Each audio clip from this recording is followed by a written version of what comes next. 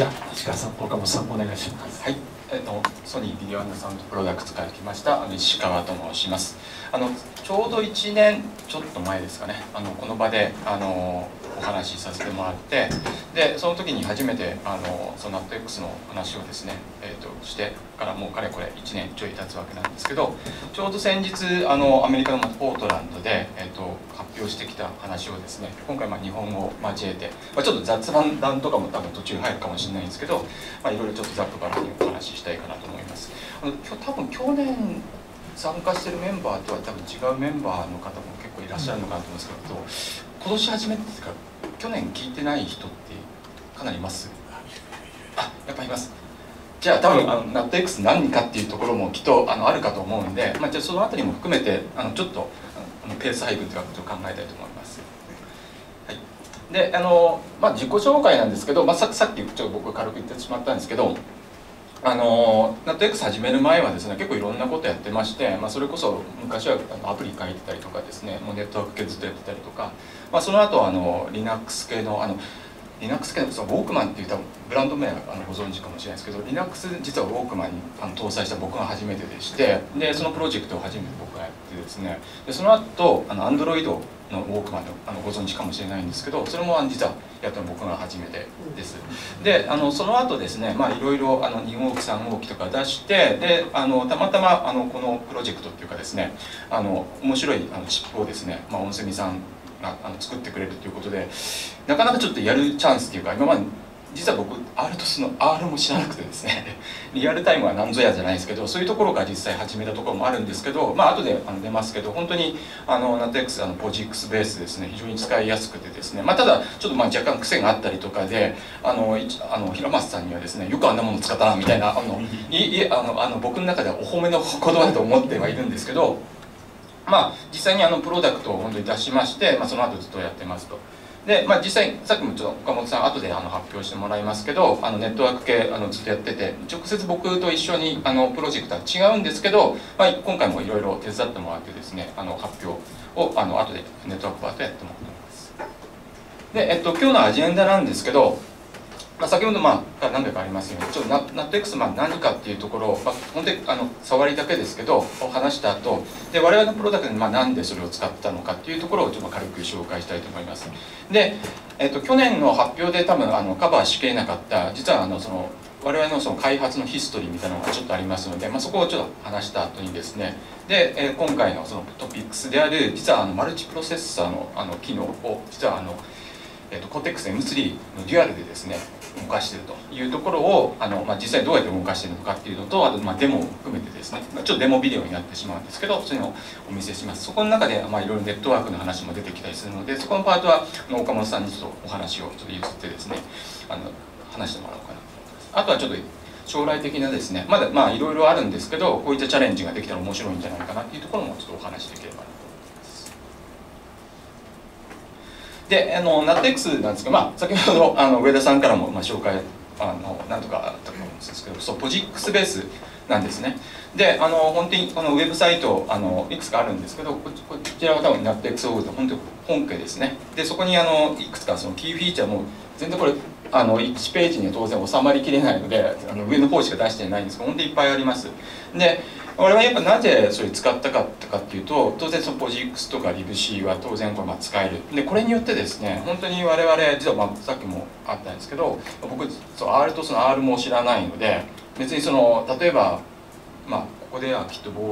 その国産 OS じゃないですけど国産 RTOS とか、まあ、使ってる方も多分いらっしゃるかと思うんですけど、まあ、もしそういうのを使おうと思うですとですね当然あの API とか含めて当然その中の仕組みをそれなりに知らないと多分使えないと思うんですけど本当にあのある程度そのポジックスベースになってますのでももちろんそのポジックスライクっていうところあるんですけど、まあ、かなりの部分があの実装されてますのでそういう意味では特にその Linux とかですね、まあ、Android 我々もそうなんですけど特にそのミドルウェアとかですねアプリをやってる人たちが割と敷居が低くですね入ってこれると。でそうすることによってその、まあ、当然我々今まで、まあ、ウォークマン作ってきたりとかあとアン、まあ、Android 系のそのオーディオ系のプロダクトも作ってるんですけど、まあ、そういったところでその、まあ、ソフトウェアのその再利用っていうんですかね。まあ、そういったところとかあとさっきのトレーニングコスト。これがやっぱりあの結構あのコスト削減ができてるんでもちろんちゃんと比較比較したわけじゃないんですけどあの特にあの大き、えーと、教育をすることなくですね最初の商品が出せてるというところは非常に大きいかなと。でその中でですねあのメモリーまあ後でちょっとハードウェアの話もちょっと出てくるんですけどメモリーやっぱりすごい少ないですあの SRAM が1.5メガでまあその中でも、まあ、1.5メガがあれば実は全然あるだろうっていう話もあるかもしれないですけど我々の製品まあオーディオでと特にそのハイレゾのその再生とか録音とかしなくてはいけないですしその中であのオーディオ系のエフェクトまあこれ実は一部 DSP でやるんですけどそういったバッファーとかですね DSP の使う部分も含めて、まあ、共有メモリーなんですけど1.5メガをうまく使わなくちゃいけないんですね。となるとやっぱりあの使える部分はどんどん少ないであの一部それは普通にあの XIP 実行じゃないですか。そのフラッシュ実行しないすればいいじゃんっていう話も確かにそれもあるんですけど一部のあのなんでしょうね。あの商品はあのやっぱり少しでもコストダウンとか、まあ、面積ダウンとかもあるんですけどそういったことからちょっと SPI フラッシュもちょっと搭載したくないんだよねとかっていうのもあったりしてですね。もちろんあの搭載してるやつもあるんですがまあ、そういったとこも含めてあのいかに、えっと、メモリーを効率よく使うかということでこのあの ELF は、まあ、 Executable Link Format っていう、まあ、よくご存知かもしれないんですけど要はこれを使うことによってねアですね、あのアプリを、ま、細かく分割しておいてそのダイナミックにロードするとか、まあ、そういったことができる仕組みがあってですね、まあ、そこら辺も使えるんじゃないかなと。あとはそれ以外には普通にドライバーのフレームワークとかですね。あとはまあいろんなボードがサポートされてると。あとはライセンスはまあ BSD でまあ割と使いやすいんじゃないかっていうのがまあ一番これが我々まあモチベーションが大きかったというところであります。でのこの次のチャートはですねこれあの実はあの上田さんから紹介されてあのあこういうサイトがあるんだというのを恥ずかしながらあのこのちょうどスライドを作ってた多分1月くらいですかね。とか2月ちょうどこれ多分2月の時のやつなんですけど。でえっとそのキャプチャーしたやつをですね、えっと、載せてるんですけどそのオープンハブって言って各種そのオープンソース系のですね活動を事細かくあのあのチェックモニタリングしてそれをレポートしてくれるサイトがあるんだよっていうことでであのナット X ももともとなんかそのコミュニティとかちょっと心配だよねっていうのがもちろんあの一部言われてたんですけどいや全然すごいすごいねっていう逆に話になってしまってえどれどれと見ても見てみたらですね僕の名前がここに出てるということで、まあ、たまたまちょうどこうこれやってたのはですねあのアメリカに行く前に、まあ、このデデモっていうかですね発表するにあたって、いろいろデモのやつを作ってたんですけどであのいくつもその修正とかしてですねあの後でそのコントリビューションの話も出ますけどそれの中で結構あの一時期ガーッとあのコントリビューションしてたんで、まあ、その中であの入ってたと。で、まあ、僕の名前が出てるのはちょっともうどうでもある意味どうでもいいような気もするんですけどあのコンスタントにですねやっぱりその特にこの数年くらいですねもう2016年の15年の後半くらいからやっぱり人がなんとなく増えてるなっていうのは、まあ、ちょうど僕この時からも商品開発してたんですけどそれなんとなくその肌身を持って感じてたのがもうこのあのですねもう数値になって分かあの出ててですねあこれすごいなと。で本当にあの very high activity っていうことですね。本当に日々今ですね開発者もそのコミッターっていうかですねコントリビューターがかなり増えてましてでそのプロセッサーも結構サポートが増えててすごいあの活発にあのやってるという感じではあります。はい、で、えっと、ここはちょっと開発のあのヒストリーであの、まあ、去年出た方もあのあまり喋りきれてなかったのであのこのページを用意してるんですけど実際我々始めたのはこの2013年のですね10月から始めてますであのここにちょっと写真を載せきれてないんですけど最初は実はですねあの後で出てくるそのオンセミさんのプロセッサーの一世代前のやつですね。あの ARM7 ベースのあの LC823425 ってやつなんですけどこれを使ってあの何かできないかっていうことであのその新しいプロセッサーの開発の話を聞きながら既存のプロセッサーに実は僕が1週間くらいでいろいろあの動かしてですねあこれはなんか面白そうだなっていうのがやってるのが実は始まりでしてでその後じゃああの製品に使えるんじゃないかっていうことででもあのプロセッサーが出てくるまで結構時間があったので何をしようかなと思ってまずはあの Cortex-M3 系になんか慣れたいなと。要はあの V6 あの Cortex のあの インストラクションとか、まあ、そこら辺になりたいなということです ARM7 とやっぱちょっと若干違うのでということで最初その QM をですね動かせるかなと思ったら意外と動いてでそこで NATX 動かしてでいろんなソフトをですね移植してででその後に実はあの FPGA をですねこれあ無理を言ってですねあのオンセミさんの方に用意してもらってまだ開発中のそのプロセッサーのあの FPGA ボードをですね用意してもらってですねちょうどこれ多分左側にこれがそうなんですねちょっと小さそうに見えますけどかなりもうすごいでかいです。あのいろんなあのドーターボードだらけででそこの上で、まあ、これ5枚くらいしか確かなかったんですけどあのいろいろ開発してですね。でそれからあの ES が来てまあ今まで開発してたやつはもうほぼほぼそのまま動いたと。でそのただまあ当然あの FPGA ではクロックも出ませんしあとは全然あのパワーセあのサスレスとかもできないので、まあ、そういったことは当然あの ES が来てからやるんですけどで ES が来てからあのもう半年ちょいくらいでですねあの3商品っていうかここら辺を出してるという感じになります。でその後あのアメリカで発表したりとかして、まあ、今回があるという感じになります。でこれはあの16年から17年にかけてのあのプロダクトのご紹介なんですけどあの、まあ、全部ですねほともうウェア基本的にウェアーブです。このあの製品は。あの前回はあのハイレゾのその IC レコーダーっていうことで、まあ、若干大きいっていうことは多分これちょっと物を持ってくるの忘れちゃったんですけどあのちょっと大きめだったんですけどここにあるのはもうあの首掛けのウォークマンだったりとか真ん中これ IC レコーダーなんですけどほんとちっちゃくてですねそのポケットに入れて、まあ、リモコンかなんかで普通にあの録音できてしまうとでなのでどっかリモートに置いてですねそのあのこれあの Bluetooth のリモコンのアプリでそのスマートフォンからも操作できるんですけどあの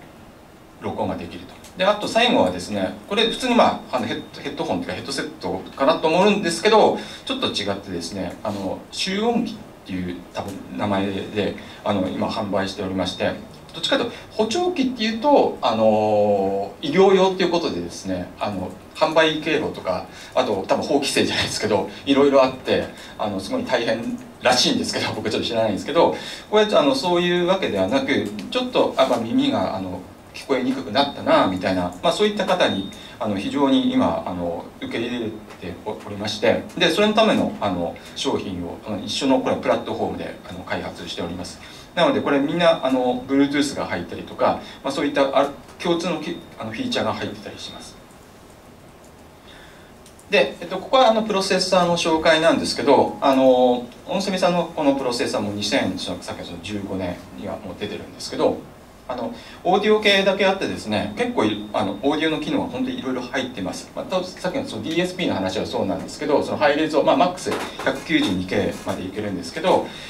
それ以外にもですねあのハードウェアのその MP3 のハードウェアのエンコーダーとかデコーダーとかイコライザーとか、まあ、そういったの入ってたりとかしてある程度やっぱりオーディオに特化した商品。でで今まではですね実はあのシングルコアで使ってましたと。っていうのはあの商品自体はですねそこまでハイパフォーマンスなものはまあさっきの配列のやつは確かにあったかもしれないですけどそこまで必要なかったと。ですけどまあデュアルコアなので、まあ、将来的になんか使いたいなということで確か去年のこの場でも将来的にちょっと使ってみたいなっていう話を言ったような気もするんですけどまあ今年はちょっとそれをちょっと使ってみましたという感じになります。でえっと一方でですねあのその商品を出してからあの NuttX のあのその本家によるコントリビューションっていうのは実はできない状態のままでいました。で、えっと、一つ大きなその障壁はですねまあ普通ですと、まあ、普通のそうですね最近の,、まあ、あの高機能な SOC 当然あの、まあ、クアルコムをはじめあの、まあ、名だたるそのベンダーさんの SOC 系の場合は多分そうだと思うんですけど大体あの要はテクニカルリファレンスマニュアルっていうんですかね。要はあのかなりスペックシートっていうかあの詳細なあのテクニカルなドキュメントが公開されてるんですけど実はその音声ミさん、まあ、古き良きああの会社だったりするんですけどあの某あの旧あの産業半導体だったりするんですけどでそこではですね、えっと、基本的にはあのそのテクニカルリファレンスマニュアルはあのやっぱり NDA を結んだあの人しか入手できないということで、まあ、実際あのボードとかも販売してるんですけど、まあ、当時当時もしてたんですけどあの詳細を知るためには当然 NDA を結んでからでないと詳細な情報はもらえないと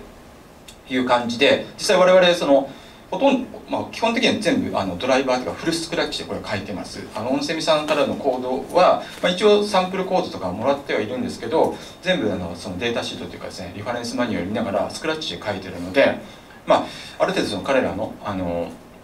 NDA ベースのドキュメントをやって、まあ、作ったものを、まあ、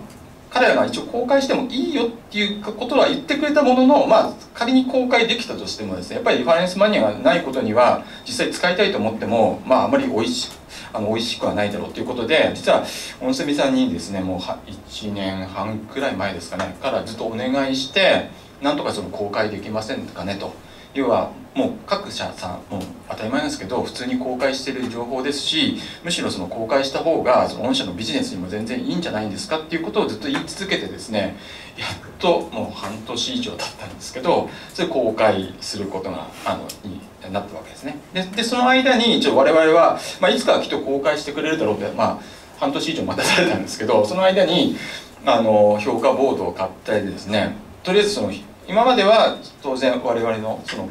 さっきの見せたそのブレッドボードでしか動かしてなかったんですけどさすがにそのブレッドボード用のコードを公開しても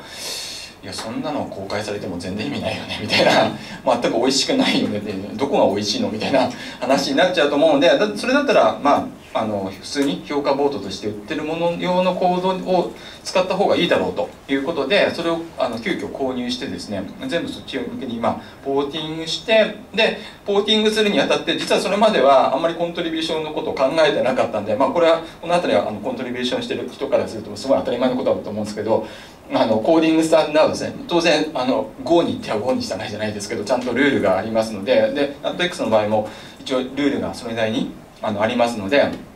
であのルールを無視してですねコントリビューションするとも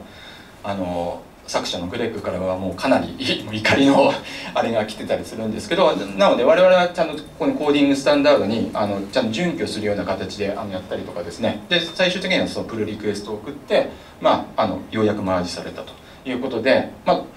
あのナット X のこのサイトを見るとですね、まあ、一応僕は代表者で名前が載ってますけどそのオンセミさんのそのボードのサポートは、まあ、一応あのもう行われているという状態になってます。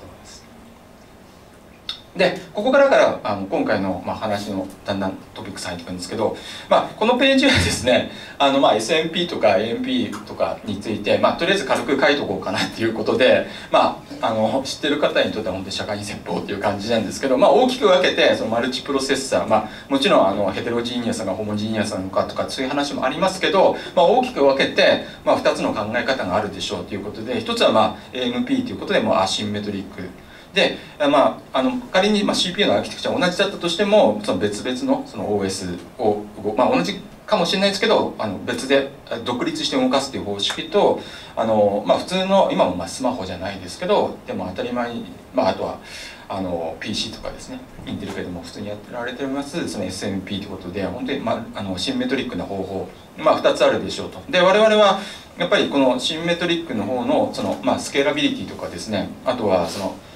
並列化のところですねそのところをやっぱり確かめたいかなっていうことで今回はあえてあの SMP の方を今チャレンジしてるっていう感じになります。でじゃあなんでその SMP を今回50で LC8250 でやってるかということで、まあ、先ほどまあ確かにデュアルコアって話があったんですけど今までのその商品では当然あのローパワーの部分はずっとやってました。で今回はそのやっぱどこまでそのハイパフォーマンスが、まあ、あの獲得できるのかなと。いうこととあとはまあ SMP、SMP っていうけど、まあ、本当に普通のアプリケーションが要はシングルコアで動いてたものがちゃんとあの SMP とかデュアルとかになった時にきちんと動くのかっていうところ、まあ、当たりすごいごくごく当たり前なんですけど、まあ、それを確かめたかったと。でただですねやっぱりあの普通のシングルに比べれば当然コンスタティスイッチとか含めてですねペナルティーがあるのも当然間違いないのでじゃあこれってどのくらいなのかなとかそういうのも知りたかったですしあとはまあ結構苦労もしたんですけどそのデバッグですねあのやっぱり何かあった時にどうやってそのデバッグするかやっぱり意外と大事なんですけどあのそういうあたりがこうどうデバッグできるかとかですねっていうのがまああの一番のモチベーションです。であとは一番のモチベーションという意味ではやっぱり結構そのチャレンジングなテーマかなということで実はそのさっきの NATX いろんなフィーチャーがあると言いましたけど最近普通はまあアールトスケでアートスアートスまあ、その OS の定義はそもそも何だっていう話はありますけど、まあ、大体ですねそのスケジューラーだけで語られてる部分が多かったりするんですけど、まあ、もちろん一部そうじゃないとこもあるんですけど特に NATX の場合はもうドライバーが入ってたりとかライブラリーが入ってたりとかあともう最初から結構ですねいろんな方がコントリビューションしてくれたアプリがあったりとかで結構最初がかなり揃ってます。でそういったものが含めて全部その SMP という環境でちゃんと動くのかと。であとあのであの岡本さんからも説明してくれますが当然そこにはネットワークも入ってくるのでちゃんとネットワークが本当にあの SMP の状態で動くのかとかですね、まあ、そういったのも含まれます。ということでかなりこれチャレンジングなテーマですと。でもう一方はですね実は後で次のページも確か出てくるんですけどその Cortex-A9 もちょっとサポートはしてるんですね。ただやっぱ A9 結構まあそこそこ難しくてですね特にそのキャッシュ周りとか含めてあのスヌーピングコントローラーとかですねいろいろやっぱりあの気を使わなくちゃいけない部分があったりしてそのデバッグとか大変そうかなと。で実はこれあのキャッシュないんです。あのあのすごいラッキーなことに。なのでまだすごいあのやりやすくてですね、まあ、それでも苦労してるんですけど、まあ、そういったことで、まあ、SMP をあの NotX のオフィスには最適なんじゃないかなということで、えー、と今回、まあ、やろうと思った次第です。でここからあの NATX の人は SMP のカーネルってじゃあどうしてるのっていうことで、まあ、結構色細かいことはすごいあるんですけどもともとこれ、まあ、開発してくれたその、まあ、作者のそのグ、グレゴリー・ナットさんっていう方がいるんですけどそ彼がですねやっぱりできるだけあの通常の要は SMP がないそのシングルプロセッサーモデルとその SMP のカーネルのモデルをできるだけまあ共通にしようと。まあ普通そう考えると思うんですけどなのでその API とかももうできるだけですね共通にして普通にそのコンフィグで切り替えると。でほとんどの部分はもうスケジューラーの中に当然閉じるようにしてそれ以上の以外の部分はですねあの全部もうあの共通に動かそうっていう思想のあのもとをやってます。でまあなのでスケジューラーの周りは当然あの手が入ってまして当然あの複数のあのプロセッサーをですね管理あのするためのそのタスクのリストとしてそのアサインドタスクとかあるんですけどそういうのを新しくあの用意してたりとかですね。あ,、まあ、あとはそのスピンロックっていうことで、えっと、2つのそのプロセッサーがですねその競合っていうかその共有のリソースをそのプロテクトするために待つためのスピンロックを入れたりとかですね。であとやっぱ面白いなと思ったのはその今までのあの既存のコードをできるだけ再利用するために通常のその割り込みのローカル割り込みのそのイネーブルとかディセーブルを置き換えられるような、まあ、そういうような API を、まあ、クリティカルセクション API と呼んでるんですけど、まあ、そういうのを用意してたりとかですね。で、えー、そういうコードになってます。であとは、まあ後でもそのデモで出てくるんですけどあの CPU のですねアフィニティをセットできまして例えばこれこの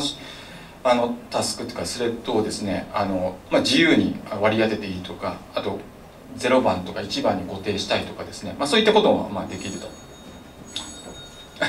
であとはですねえただですね、まあ、1個あるとすればあのローカル割りあハードウェアの割り込みに関してはあのまあ、プロセッサー側割り込みをちょっと除くんですけど基本的には今 CPU0 で受けるようになってます。一応 CPU1 で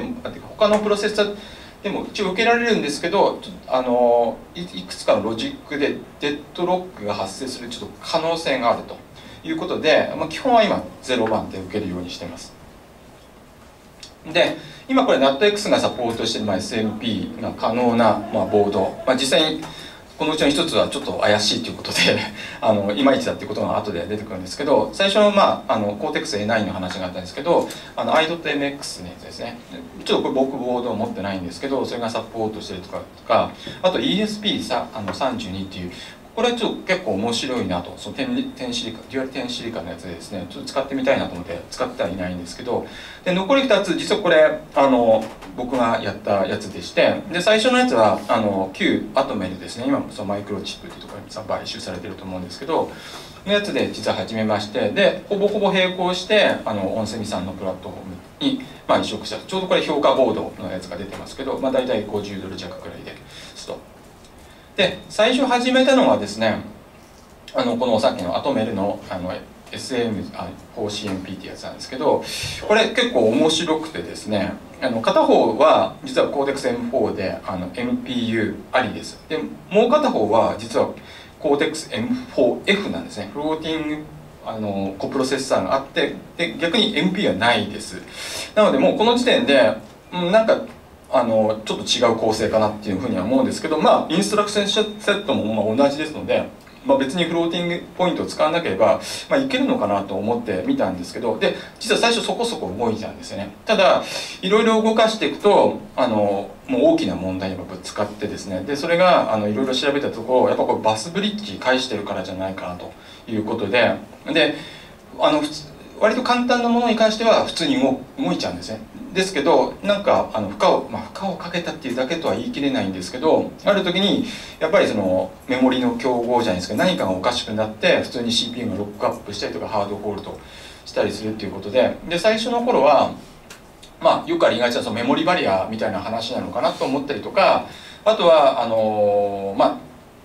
そのメモリのあのなんでしょうね、まあ、ストアとかロードとかを確実に行うためにそのダミダミーのリードライトが必要なと場合もあるみたいなのがあの ARM のアプリケーションノートとかに書いてあったりするんですけどでそういうのをちょっと試したりしたんですけどどうしてもあの拉致が開かなくてですねあの、まあ、当時あの旧アトメルの方に、まあ、一応問題点に関してあのレポートしたんですけどさっきのちょっと買収の話とかあったりとかでですね、まあ、結局そのままあの返事はもらってないという状態で、まあ、これはある程度動くんですけどちょっとおすすめはできないかなという感じになります。でまあ、ほとんど同じあの時期にですねあのポーティングを始めたのがあのオンセミさんのボードでして。でもともとさっき我々あの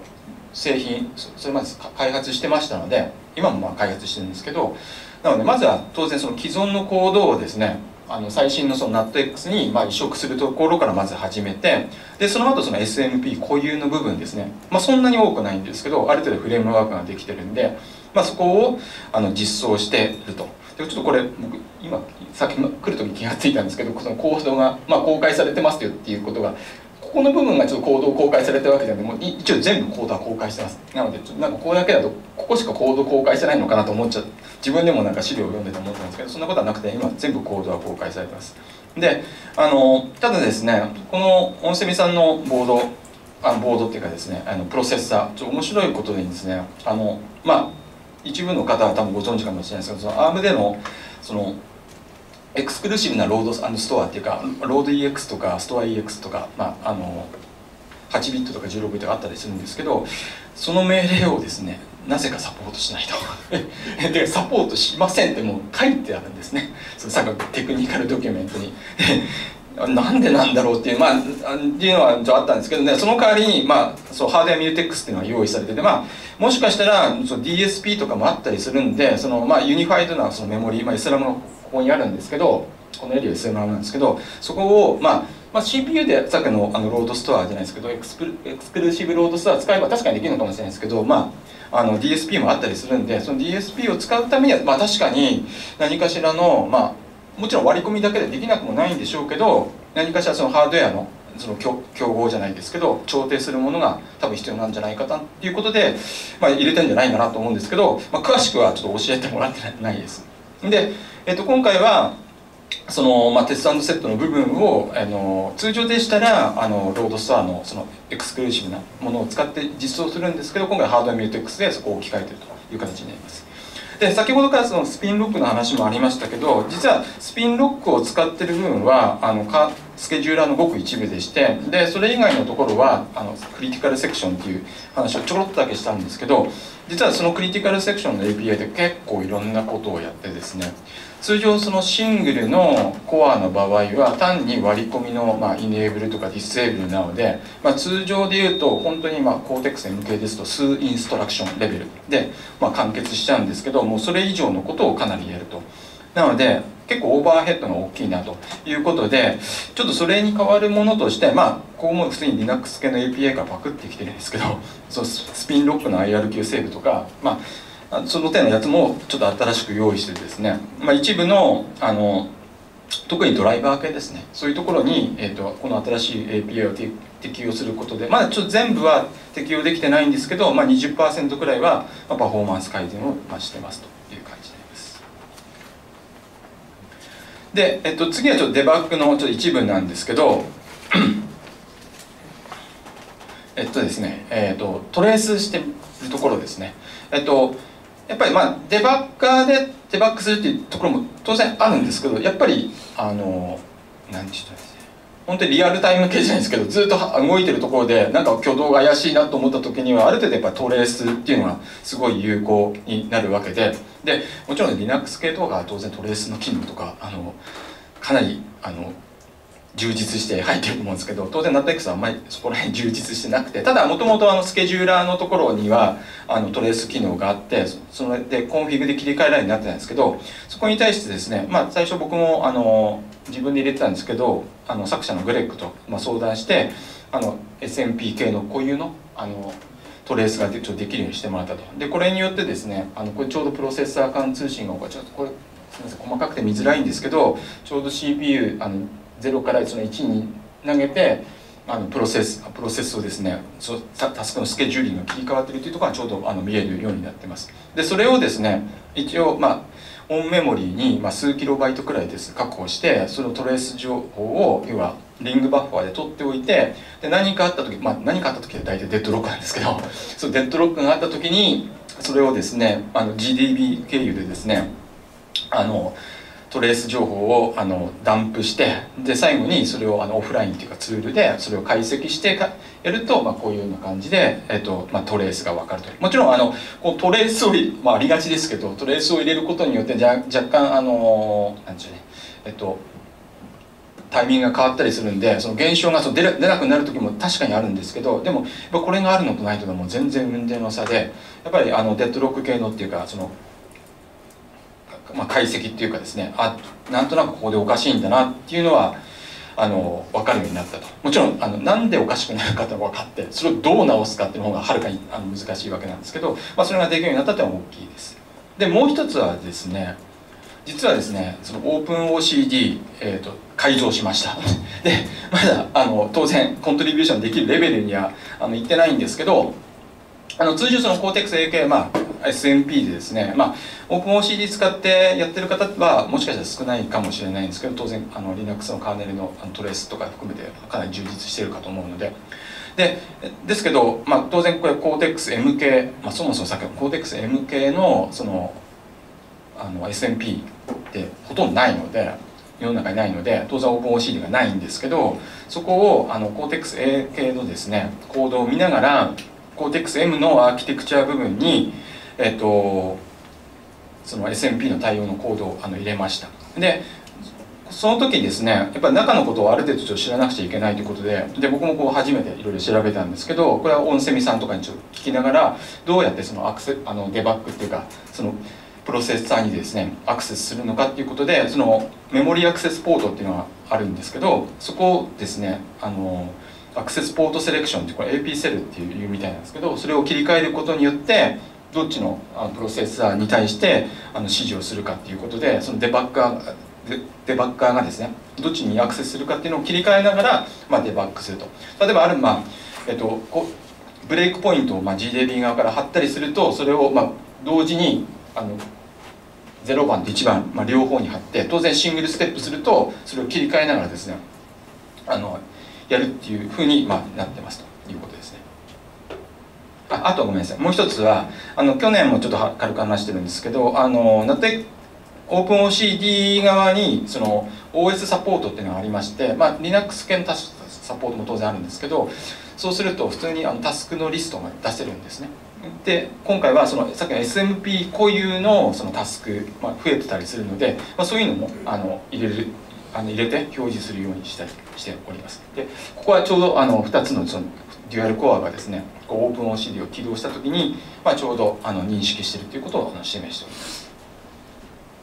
でここはもうちょっとあの具体的にあのエグザンプルとって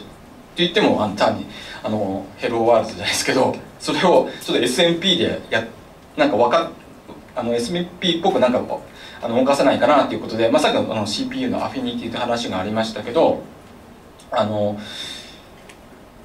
ハローワールドでそのプリントするプリントするときにですねあのプロセッサーの ID をちょっと番号を出す出そうということでそれをやってみたということですね。でそうするとちょうどこれデバッカーでちょうどあの止めてるんですけどそのプロセッサーの1番でちょうどこれが動くように今指定してるんですけどそこでブレイクポイントをかけてるとちょっとヒットした時にはその CPU の ID としてもこれ1番があったので、まあ、01ってくるのでその 2,、まあ、2番目のものあのプロセッサーでちょうどブレイクポイントがヒットして、まあ、スタックトレースもまあ普通のようにその見れますし、まあ、さっきのそのオフオフラインのツールであのトレース情報をですね一旦ダンプしたもので見るとあなるほどこうやってタスクがまああの動き出してあの切り替わってその1番で動いてるんだなっていうことが、まあ、これでお分かりいただけるちょっと細かいんですけどお分かりいただけるんじゃないかと思います。で次はですね、まあ、さっきのえっと、ローパワーの話を、まあ、ちょっと一言くらいしかやってなかったかもしれないですけど実は去年のあのこの場の説明でもですねで我々のその商品では、まあ、普通にですけどあの DVFS をやってますという話をあのしたんですけど今回はその SMP 用にそれをちょっと拡張してます。でこれもあの全部 OS っていうかあごめんなさいドドライバーっていうかコントリビューションしてまして、まあ、やってること自体はすごいあの単純でしてまああのアクティブアクティブっていう状態まあ、アイドルっていう状態を、まあ、区別してるっていうことは前回もあのお話ししてるんですけど、まあ、どちらかがそのアクティブになった時にはそのクロックを高くしてですねあのアイドルになった両方アイドルになったら低くすると、まあ、そういうことをやってると。であとはそれ以外にそのゼロ各ですね CPU ごとのそのアイドル時間をちゃんと計算してで、まあ、両方ともあのアイドルになったらああるスレッショルトを超えたらですね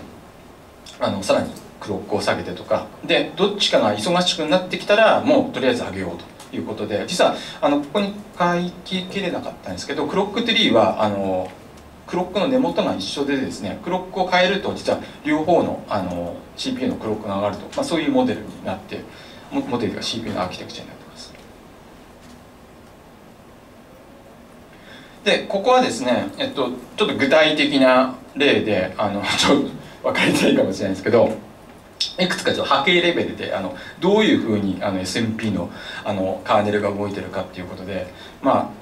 もしかしたらこういうのなんか本本に書けるのかなって一瞬思ったりもしなくもないんですけど、まあ、実際にどうやって動いてるのかってあの示したやつですね。であの今回ですねあの、まあ、Linux 系ですとご存知かもしれないタスクセットっていうコマンドで、まあ、CPU セットを、まあ、指定できたりするんですけど、まあ、例えばちょっと下に書いたんですけどその CPU セットマスクですね例えばこの例ですとこれあのビジーループ、まあ、これ大体4秒間くらい本当に CPU をただぶん回すだけの、まあ、プログラムなんですけどそれを動かしておいてその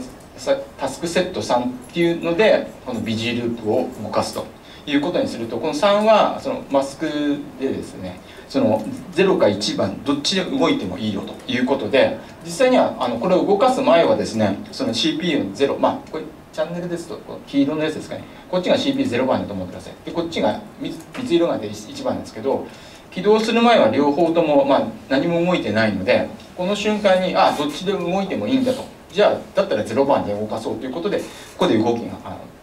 こっちにアサインされて、まあ、ここで終わるという感じですね。でこれを2つ同時に動かしたらどうなるかというのが2番でして、まあ、最初はこれ、まあ、どっちも動い何も動いてない状態から始まるのでポンとここに動いてでちょうど0番がですね動いてる時にもう一個同じ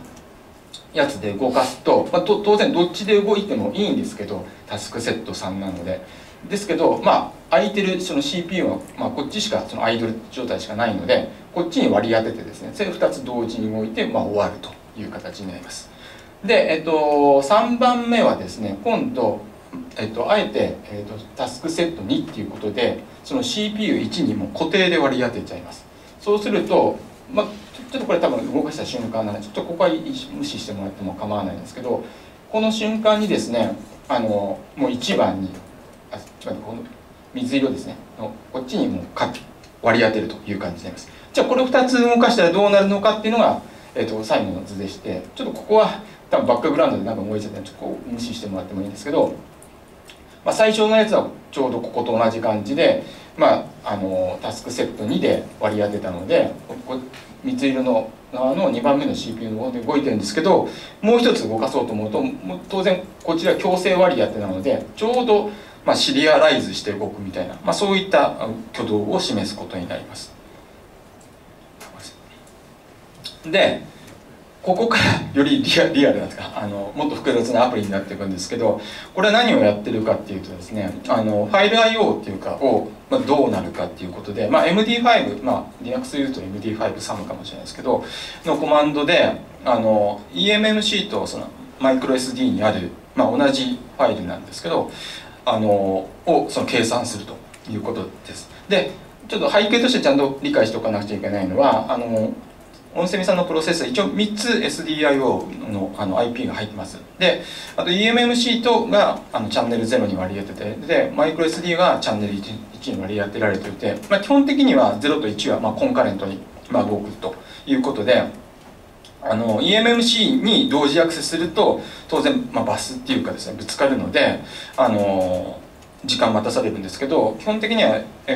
EMMC とマイクロ SD は、まあ、コンカレントに行くであろうという感じになります。もちろんあのマイクロ SD 音は若干遅いとかそういった話があるわけなんですけどそれを示したのがちょうどこのあの図でしてでその CPU のアクティビティがですねバーってなってるんですこれ何が起こってるかっていうと当然あの SDIO っていうかけるでそのファイル読みに行くので、まあ、リードのリクエストっていうかで DMA かけるんですけど DMA かけて読みに読みに行くと、まあ、パカって一瞬下がるんですけどその瞬間に他のタスクっていうか同時にあの切り替わってるのでその2つがですねそのファイルが、まあ、ある意味自分活に近い感じで、まあ、同時にアクセスが行ってで、まあ、結果的に今時間ですと、まあ、これたまたまあるファイルがこのサイズだったのがちょっとこのサイズは無視してますまあ、85秒くらいかかってると。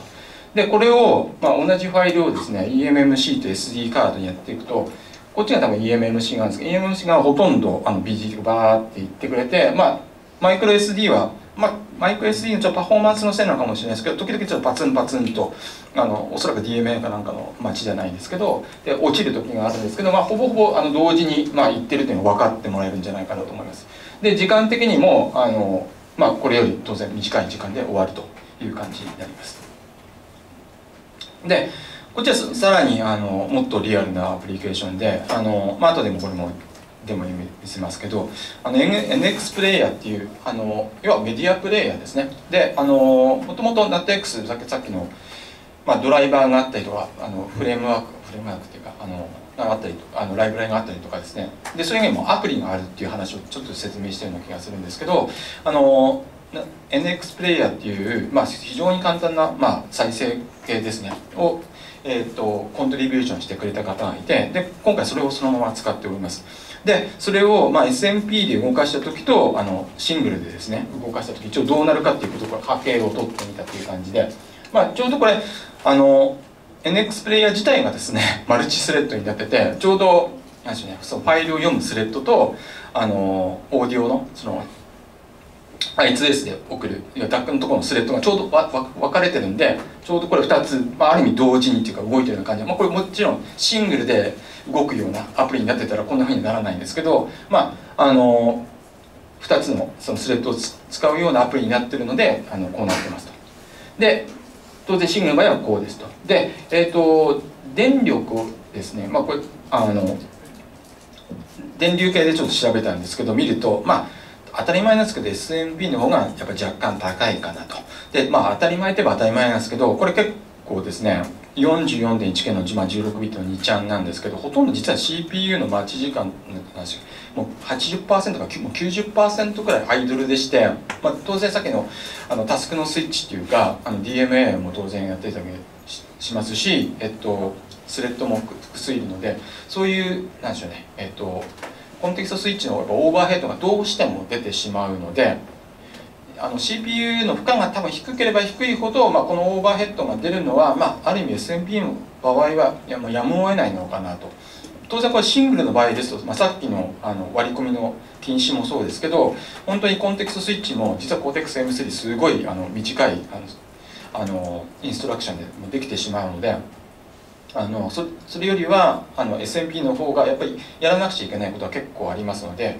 まあ、そういうところに対しては、まあ、若干やっぱオーバーヘッドがあるのは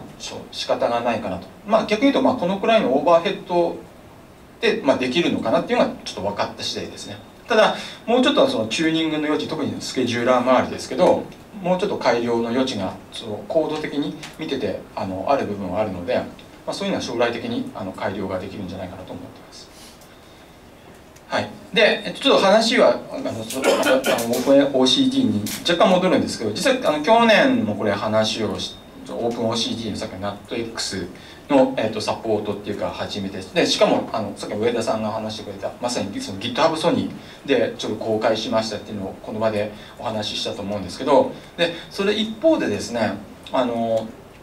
実はあのオープン OCD のコミュニティに対してもあのコントリビューションしたいなと思ってましてで実際にはあのやってますっていうのが多分あの正しいあの言い方で。で去年の4月からあの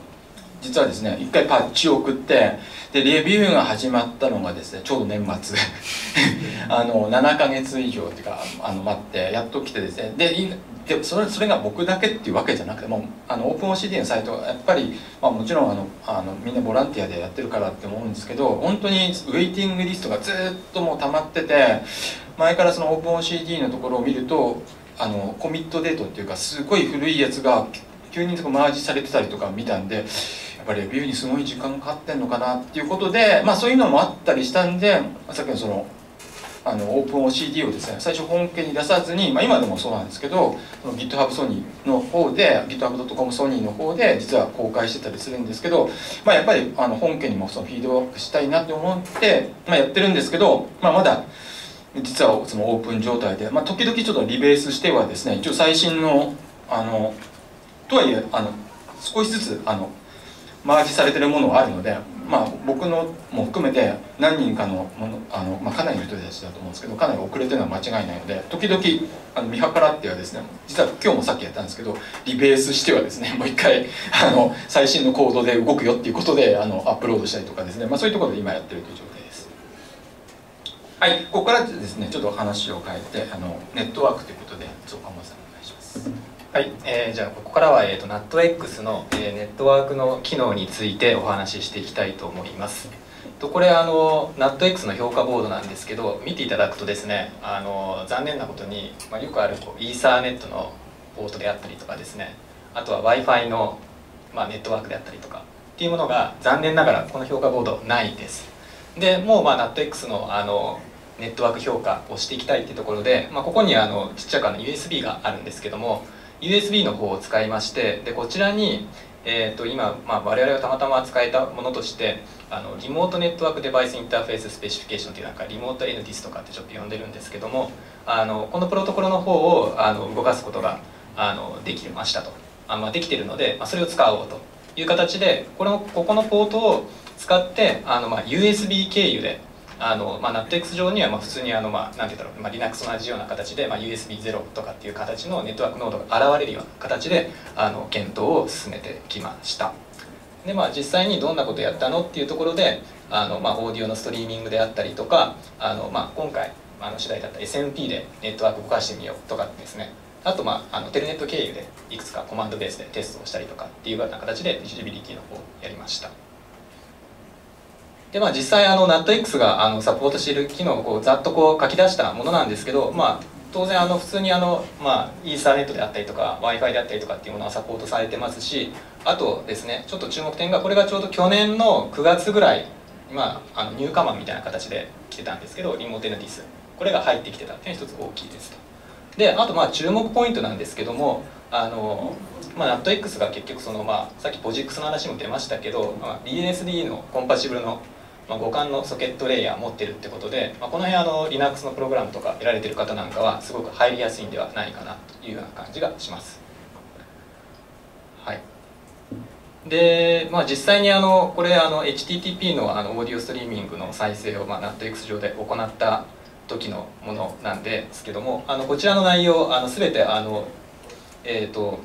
オリジナルのリポジトリの方にあのもうすでに入っている内容になります。で、まあ、実際にあの HTTP で、まあ、オーディオストリーミングを実現するにあたってですね、まあ、どんなことをあの我々やってきたのかっていうのをちょっとこう書き出しているような感じなんですけどもあの、まあ、先ほど出てたそのリモートエネディスの方あのありましたよってことなんですが、まあ、このままでちょっとうまくいかない部分があったりしたんであのデータとかのその、まあ、コラプションの部分とかの不具合を直したりですね。でそれからあと、まあ、USB のハイスピードの方でサポートしたりとかっていうようなことをあの今回開発をかけてます。あとさらにですねあの、まあ、よくこれ TCPIP とかでウィンドウコントロールの制御とかネットワーク出てくるんですけどもこの辺をあの実際に NATX の方の IO バッファーベースでとりあえずこう調整するようなことのあの改善とかをかけていますが、まあ、ちょっとまだあの実験段階の状態ではあります。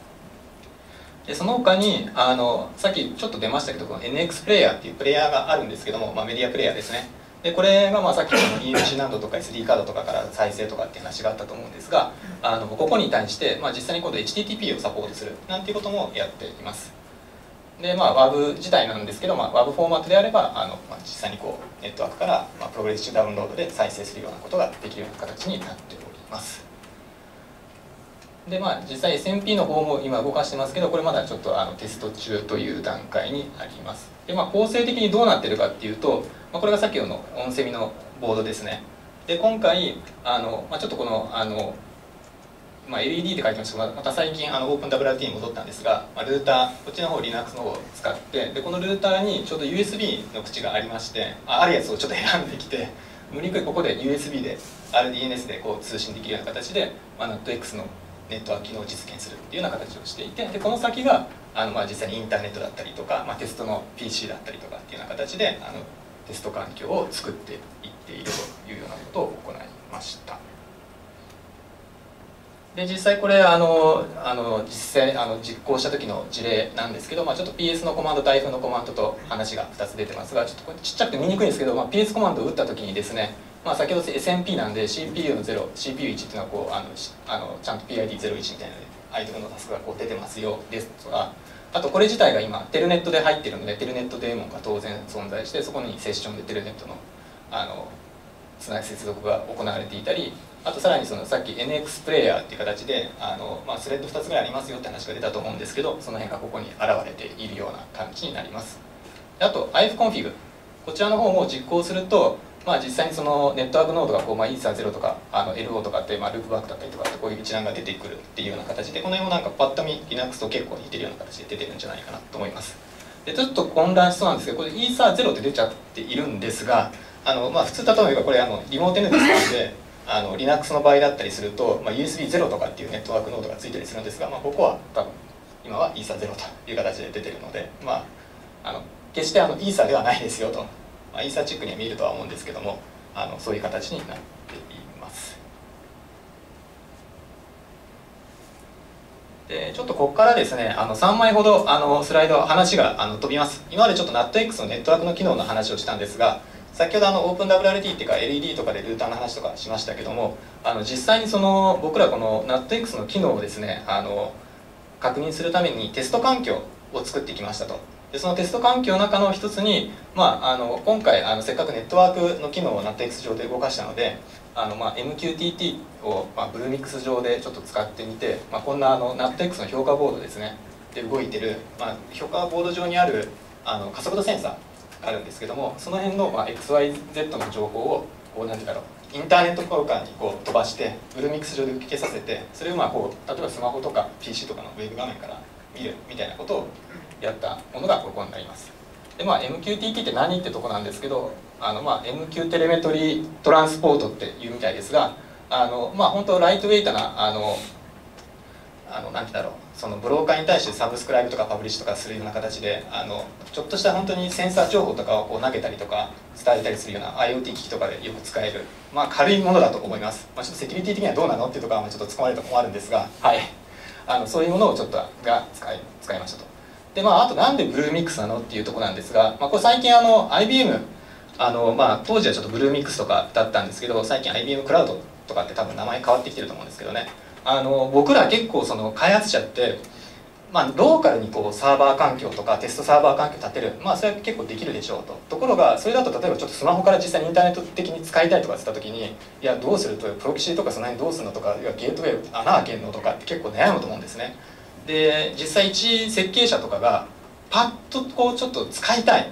サーバーちょっと立てたい。結構そういう需要ってあると思うんですよ。な時にあこれ結構 IBM の Bluemix はたまたまちょっと使ってみようと思ったら意外と何て言うんだろう。まずこう作れますと。であと Bluemix のいいとこが基本これもう OSS ベースのもので使ってるんで、まあ、これ実際に僕ら使ったのはあの Node-RED っていうやつを使ったんですけど当然それも自分たちのサーバー空間に作りたければ、まあ、実際に作って、まあ、サーバーがハードウェア的に持ってれば作れますよね。なんですけど、まあ、確認する時にそんな作業一切いらないと。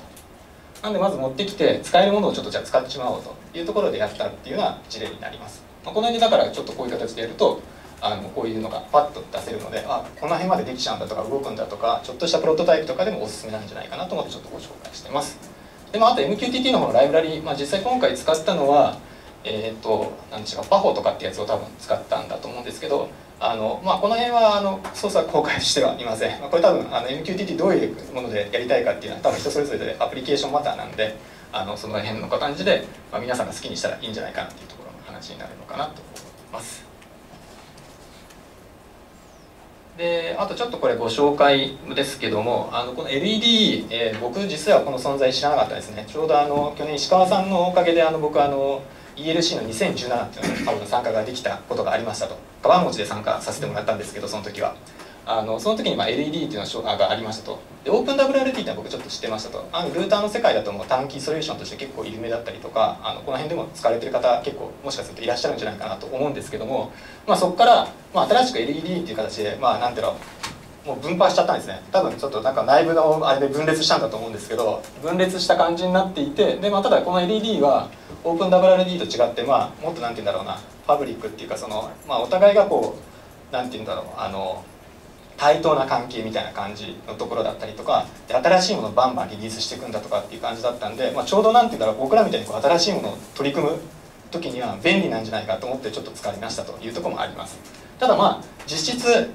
まあ、オープン W と変わらないのかなってところと、まあ、今年のですねあの1月かなあのこれ両方また再統合されて、まあ、かなり LED が考えたものを、まあ、折れたんでしょうね大元のオープン WRT が。であの今一つになってると、まあ、一つにならなくちゃいけないよなんていうプレゼンがちょうどこう2017年とかにやってましたけどね。はい。なんでこうちょっと1個になったよなんていうのがこの写真になります。でまあ実際にあの使ったあのハードウェアなんですけどあの今回バッファローの w i f i ルーター。を使ってまして、まあ、この USB2.0 ポートがついてるものがちょっと欲しかったというところであの、まあ、ハードオフとかだからちょっと探してきてあのたまたまこうなんだろうオープン WRT 結構量サポートします。そいつがサポートしてどれかなっていうのをこうなんかウェブで見ながらこうちょっとそのそこにあるものを見てやったなんていうような感じになります。はい。でまあ、実際あのあとサポートする時ですけど OpenWRT 単純に入れた、まあ、LED って書いてますが、まあ、単純に入れるだけだとこのリモートエネディスがサポートされてません。なのであの、まあ、もし皆さん本当にあの NuttX の評価ボードを使ってやられる時にはちょっと面倒くさいんですけど、まあ、1回多分こういうステップ大体こう簡単に3つのステップがあります。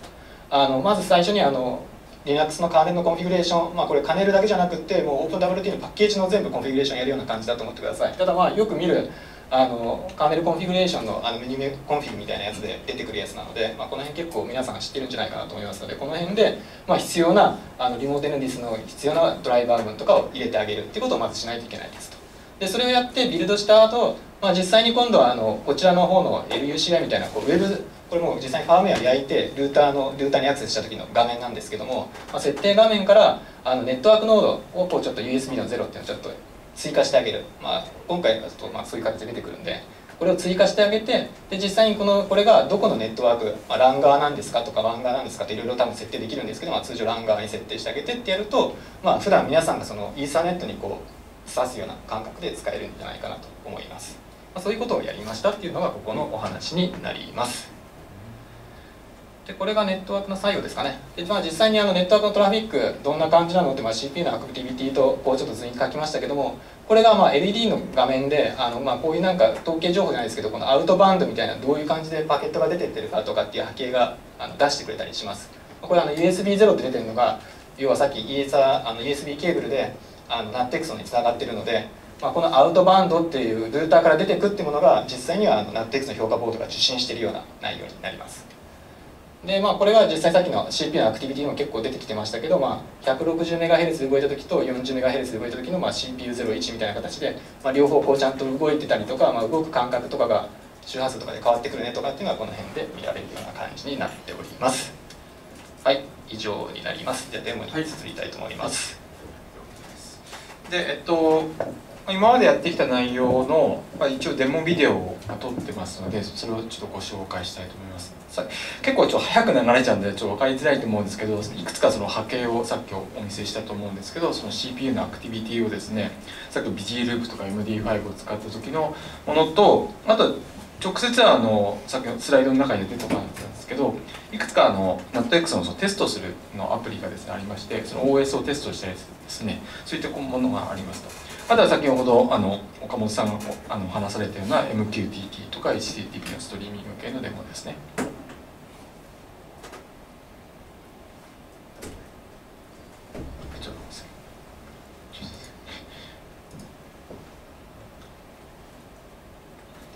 はい、もう始まったんですけどこれはさそのさっきのやつですね。タスクセット3で、まあ、自由に割り当てていいんですけど、まあ、0番が空いてるのでもう0番に割り当ててるという感じですね。でそれをさっき2つやった場合ですね。1つ目はこちら側で空いてるので普通に動いても 2, 2番目のやつは下の方の次の CPU で動くという感じになります。ちょっとすみません。暗暗いんでちょっと見づらいのかもしれないですけど。でこちらは CPU1 に強制的に割り当てるということでちょうどもう1番にこうやって動いてるという感じになります。でその次があの同じものを2つ同時に動かした場合ですね。なのでこれシリアライズというかこっち側で動いてまた同じく CPU1 に割り当てるんでもうこれずっと動いてるように見えるという感じになります。でこれがこ MD5 のやつですね。これ2つ同時にっていうか動くいう感じですけどこれバーって、まあ、さっきもちょっと見たような感じですけどこれ重要なのはですねちょっとこれ見づらいんですけどこれ最後本当は見てもらいたいんですけどこれちゃんと計算結果出るんですよ。一応一致してます。当たり前ですけど一致してなかったらそれバグです。でこれも次は、M、あの EMMC とあの SD カードでアクセス。これも2つ同時にバーッと行ってるんですけどちょっとお尻の方はあでここにちょうど出ましたね。その結果が。これも一致してるということであのちゃんと計算結果いくつでこれ S&P これはただ単にですね、まあ、かなり、えーと、7個8個かな？え、ー、と複数のそのスレッドをまあ自由に動かして、まあ、どういうほとんどそれぞれ100%に近く動くんですけどそのそれが動きますと。でこれ OS テストっていうのはですね OS のさもさまざまな、まあ、セマホとか、まあ、タスクとか、まあ、あのシグシグナルとかですねもういろんなものをずっとテストするっていうそのアプリをこの SMP 上で動かしたらどうなるかっていうことで、まあ、これいろいろあのウェイト PID とか、いろいろやってます。だからこれ結構時間かかるんですね。60秒くらい続くんでちょっとかなりもそのスキップして最後だけちょっとお見せしますということでですね。これ最後も多分 V フォークかなんかのテストで終わるみたいな感じで、まあ、とりあえず一通りテストはパスしてると。でさっきこれあの岡本さんがあった、まあ、ブルーミックスを使ったその加速度センサーのやつですね。ちょうど、まあ、これ、まあ、タスクっていうかこういう状態で、まあ、これ一応 CPU の今状態ですまあ、ほとんどアイドル両方アイドル状態なんですけどこれからちょっとボードを多分お見せします。ちょうど今出てくれます。これがちょっと僕の手なんですけどボードをですねさっき評価ボードをぐるぐる回してるとこなんですけどそうするとこの評価ボード上にはその加速度センサーからちょこれ USB なんですけどがさっきの LED っていうかですねルーターを介してそのブルーミックス側につながって本当にこれリアルタイムで。まあ1秒間にちょっとあの回数はそれほど多くないかもしれないですけどずっとあの HTTP とか MQTT のプロトコルでそのポストしてでそれであのブルーミックス側のアプリで出してるということです。で最後これはオーディオのストリーミングですね。これ今 CPU のその状態とかさっきのルーターでのそのトラフィックの状態を出しているところでしてこれがちょうど NX プレイヤーで今ちょうど再生を始めてとかですね。ちょっと出てくるところです。これちょうど音が出てと思うんですけどでここで今あのタスクの状態ですね。これがあちょうどテルネットでですねこれ入って今動かしてるんですけどあの普通に PS とかなんかいろいろあると、まあ、若干今あのアイドルの状態が低くなったと思うんですけど普通に動かしつつあのテルネットで入っている状態を見てると。でこれまたあの止めたりしてますね、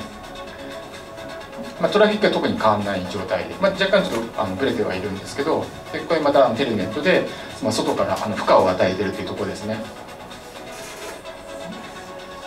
で今度それをやりながらですねこれまあ普通に、まあ、大体ロードバランスされてる状態なんですけどここでそのさっきのタスクセットビジーループを動かしたらどうなるかということでこれ今あのタスクセット1っていうことであの1番っていうか割り当ててやってます。そうするとこれ、まあ、強制的にっていうか0番に割り当てるのでまあアイドルっていうか0になりますと。今度はタスクセット2になるのでこっち側に、まあ、強制的に割り当てるのでこのアイドルゼロで CPU の2番が、まあ、アイドルがゼロになるというかで次が面白いんですけど今度タスクセット3ってやったらどうなるかと、まあ、要はどっちにも割り当てていいんですけどこれ一応どっちでもいいんですけどこれシングルスレッドなんて実はパタパタパタパタこれ切り替わってるんですね。なので全体的に両方の CPU の負荷が下がってるイメージ。で今度この2つやってると。2つやるとさすがにあの2つともあのビジーで動くので。ただまああのこのタスビジーループのタスク自体はですね今プライオリティを下げてるのであのプレイヤーのプライオリティも全然高いので音切れはあのしないでずっと再生し続けるという感じですね。なので、まあ、一応その SMP のカーネルが、まあ、その再生もしながらまあ、いろいろ他にアプリも動かしながらですね、まあ、動いているということが、まあ、軽く分かっていただけたんじゃないかなと思います。はい、で、まあ、ここからちょっと最後なんですけど、まあ、将来的なちょっとチャレンジということで、まあ、SMP に関しては、まあ、先ほどからちょっとありましたように、まあ、ここまでですね結構あのバグとかをいろいろ直してますでそのスタビリティはかなり上がってますし、まあ、パフォーマンスを、えっと、かなり、えっと、改善してるんですけどまだまだあのもうちょっとあるかなと実際ですね、えっと、前回のあのその3月の時には、まあ、3時間以上デモして、まあ、一応ハングもしないでずっとデモはやり通したんですけど、まあ、他のユースケースとかではもしかしたらまだ問題が出る可能性は、まあ、あるかなと。であとはさっきの OpenOCD ですねあの SMP のサポートはまだちょっと不十分なので、まあ、そういったことをちょっと将来的にはちょっとコントリビューションできるレベルまで持っていきたいかなっていうこととあとはリアルタイムのそのトレースさっきはちょっとリアルタイムのトレースというよりは一旦トレースバッファーにまあ入れとく入れといてからやるんですけどそうじゃない方法がないかなと。あとは、まあ、CPU のそのホットプラグとかですね。まあそうこれもすでに Linux とかであるんですけどそういうようなことによって、えっと、ダイナミックにそのスケジューラーをのアルゴリズムを切り替えることによって例えばあの負荷が低い時にはですね本当に今までのそのシングルのあのスケジューラーと同じような感じで動けばもうちょっとあのオーバーヘッドが減らせないかなとかですね。あとはそのパワー CPU のインタラプトをもうちょっと安定できないかなとか思ってたりもします。あとはネットワーク系のところ、まあ、TCP のさっきのフローコントロールの話もありましたし今ちょっと取り組んでるのはあのですね えっと、スロースタートとかですね、まあ、いくつかもあるんですけど、まあ、そういう仕組みをちょっと入れたいなというのとあとは実はあのボードでですねあの Bluetooth のチップが載ってたりするんですけどその Bluetooth を使って普通にその IP とかネットワークとかの機能が使えないかなとか、まあ、そういったこともちょっとあの思ってたりします。でまあこれをやるにあたってですね実際あのもうこの SMP 実は1年ちょいくらい前から、まあ、さっきのボードっていうかサポート始めて最初はそのグレッグにですね、いろいろ相談しながらやっていろいろ彼のコメントとかもあったんですけど、まあ、かなりいろいろ参考になることがありましたで、まあ、最近はちょここら辺のその SMP のそのスケジューラーのそのバグのところを直したりとかですね結構いろいろ僕がやったやつをマージしてくれたりとかですね、まあ、かなりそのお世話になっております。であとはまあオンセミさんですねさっきの特にあのドキュメントのその開示があったからこそ、まあ、我々のオープンソースもあの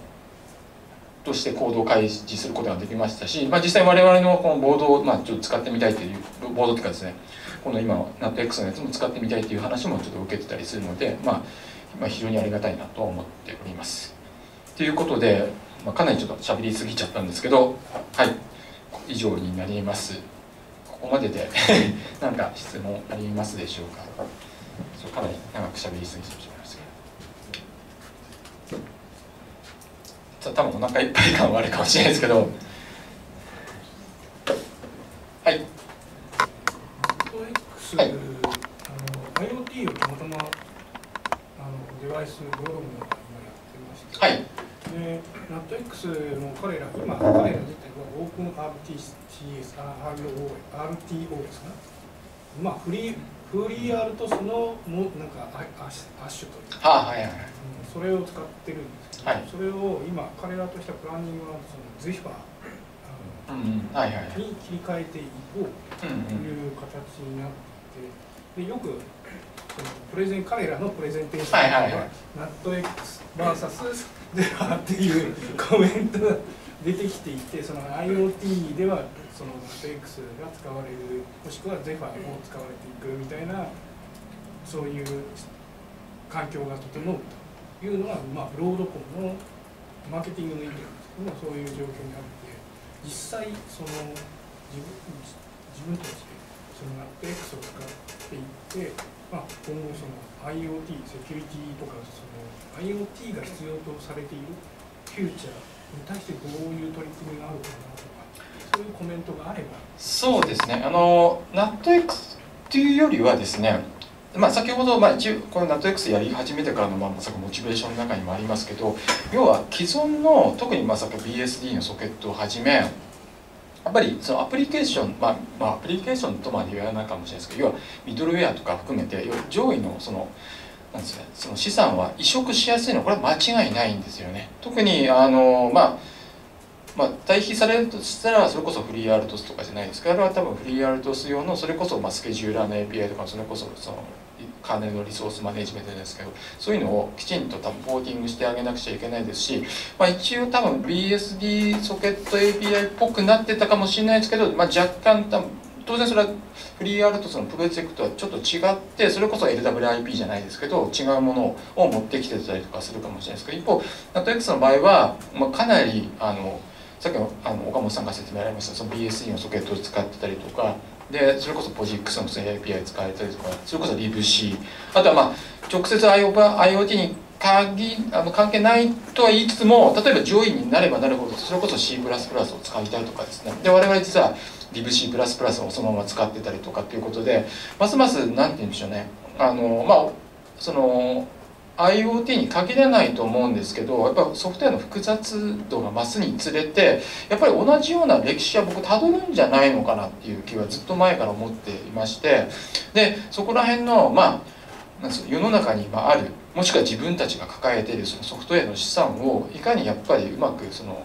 移植できるかっていうところが僕は大きいんじゃないのかなと思っておりますしまあそうしていきたいなと思っております。もちろんあのネットワーク系をやってる人たちもいますしそうじゃない人たちも当然 NATX やってる人たちいっぱいいますけどでも実際 NATX やっぱりネットワークをやってる人たちも結構いますね。はい。ただまあ IoT っていうのもそうどっちかというとプロトコルは確かにいっぱいあるんでそれも多分いろんなところですよ GitHub じゃないですけどいろんなプロトコルが多分あの実装が公開されてると思うのでそこら辺は多分あのそれぞれの目的に合ったものをうまく多分チョイスするのかなという気がしますね。はい。はい。他には？あはい。はい。途中にその、まあ、オープン OCD あはいはいはいあのあれは、えっと、デバッグのためのプロジェクトだっていうことで。そうですね。あのオープン OCD 自体はですねいわゆる、まあ、普通の、まあ、自自宅デバッカーじゃないですけどそういう感じでして、まあ、あのそのハードウェアと、まあ、そういうデバッカーと、まあ、僕の場合です通常 GDB というか、まあ、EMAX を一緒に使っちゃいますけどその間に入るような形であの動かすっていう感じですね。要は何て言うんですか例えばあのうん。GDB サーバーみたいなイメージですかね。でどっちかでそれをあの SW っていうそのあの JTAG のプロトコルに変換してくれるものが、まあ、オープン OCD もしくは普通の JTAG デバッカーですね。それ市販のやつを使ってもいいんですけどもともとオープン系のものもかなりありましてでそれじゃあオープン OCD いやなんかオープンのつかない OCD っていう。オンチップデバッカーですね。ああオンチップデバッカーそうです。オンチップデバ普通の JTAG, デバッカーの方ですね。はい。はい、オンチップデバッカーのね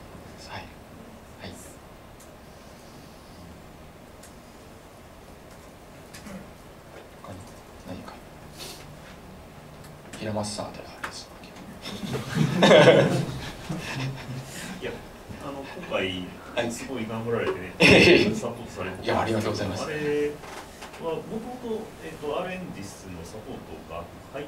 ていってそれをさらにあの自分の方に移植したという感じ。えっとですねよくぞ聞いてくれましたっていう感じなんですけど 実際にはですねあそこにも若干あの短い歴史がありましてあのリモート N 実ぶっちゃけ自分で実装しようかなと思って あのでスペックっていうか読み始めたんですけど意外とやっぱりゼロからっていうかまあ普通に23000入力は軽くきっと超えるだろうなと。でちゃんとやっぱプロトコル知らない人が実装してもハマるなと。で最初はですねそれやろうかと思ったんですけどもう1時間くらいで諦めて あの他のコード見たんですけど諦めて。で次にやったのはですね実は書いてないんですけど最初は、まあ、USB の普通に、まあ、シリアルのクラスとか動いてたんで実は独自プロトコルで、あのし要はシリアル上にそれこそスリップじゃないですけどあのなんか独自に通すような感じで最初動かしてました。ただやっぱり結構プロトコルのオーバーヘッドがでかくてですね普通にまああのテレネットっていうか IP って普通に喋れるようになったんですけどストリーミングまでは全然通せないなと思ってでどうしようかなと思った時にあのリモート N ディスをなんかマージされたんですよね。てかままあのコントリビューターっていうかがあのコントリビュートしてくれてちょっと名前忘れたんですけどそれをあの作者のグレッグがマージしてくれてただあのすごいコメントがいい加減出てですねなんかとりあえず動かないんだけどあの、ま、あのコントリビュートしたいんだけどみたいなすごいあってですねいやこれすごいでよくそれあのグレッグあの OK してくれたみたいな感じででたたで僕もやってみようかなと思ってあちょうどマージされたんでやったら本当に動かないんですよ。っていうかあの実際には動きました。あのなんだろうな。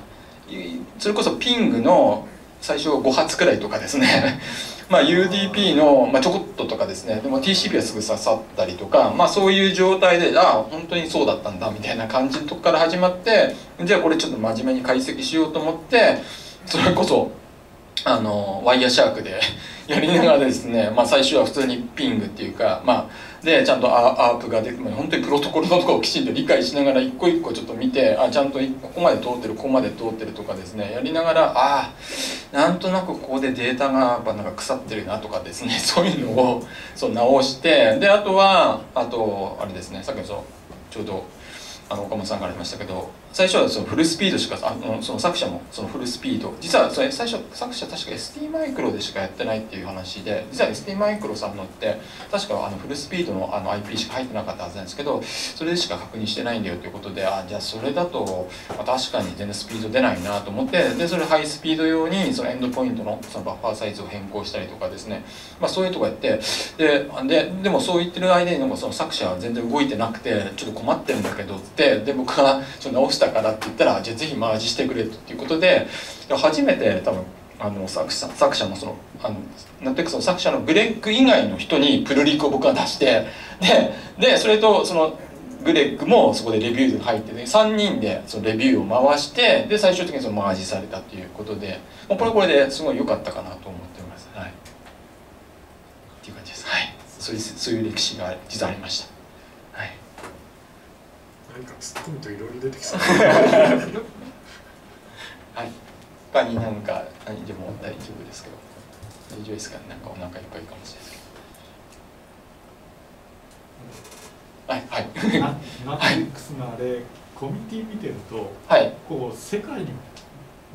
散らばってるなっていうそうですね。なんか南米とかあったりそうです。あのあそうです。今ちょうど大事なことはあの今回のそのポートランドでですねすごい嬉しいことがもういくつかあったんですけどそのうちの一つがですね、まあ、1年前は、まあ、僕は初めてその NatX あの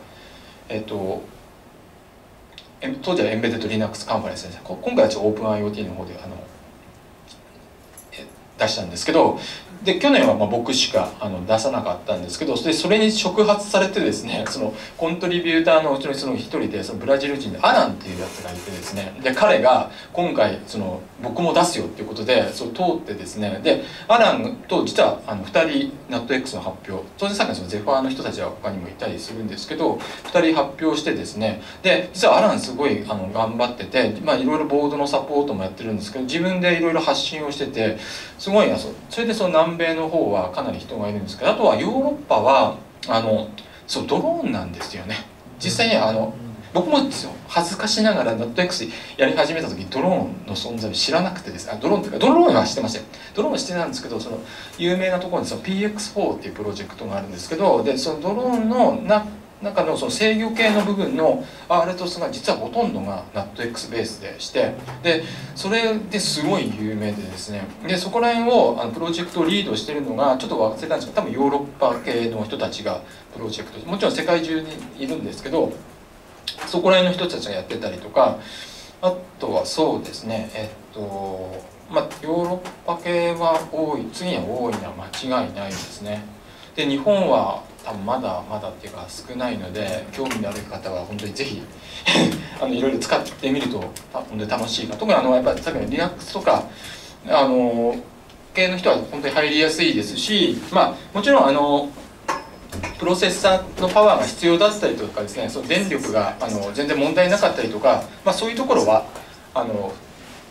別に普通のその Linux で僕も問題ないですし逆に、まあ、過去そういう製品も開発してきたわけなんですけどやっぱりすごい小さいものでですねここやっぱりあの電力的に厳しいなとかですねただあのソフトの開発効率とかですね、まあ、そういうのをうまくなんか流用したいなとかそういう時にすごいあのいいかなとは思います。なのであのぜひ興味のある方とかあの参加してもらえると楽しいなと思います。あの Linux ファンデーションの中にあのドローンコードプロジェクトっていうのがあるんですね。そのドローンコードプロジェクトがそのあの制御系のところが今あの石川さんがおっしゃったそこのところを中心に動いていてで制御系のところはそのドローンコードプロジェクトはあの NATX を多分ドローンコードおそらくその上の部分ですねそうですねで下はその OS としてはあの NATX っていうかベースのあの、はい、マイクロコントローラーって感じですよね、はい、あれですねあの Linux ファンデーションの何でもあり感がすごい です、ね。その話すごい。リナックスファンデーションの何で何でもあり感ってすごいですよねあれ。